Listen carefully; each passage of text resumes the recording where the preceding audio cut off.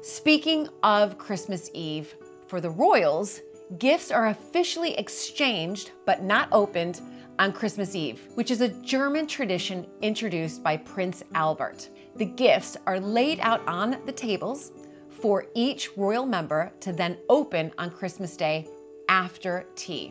Sandringham, of course, has a main Christmas tree in the house, and once all the royal family members have arrived on Christmas Eve, the younger generation of Windsors adds a few more final decorations to the tree before heading off to sleep, perhaps hoping to get a glimpse of Father Christmas before the big day. It's time for the formal Christmas Eve dinner, where the royal family gets really dressed up and are expected to wear black tie or evening gowns. A six course meal, candlelit, and reports that the menu is often written in French.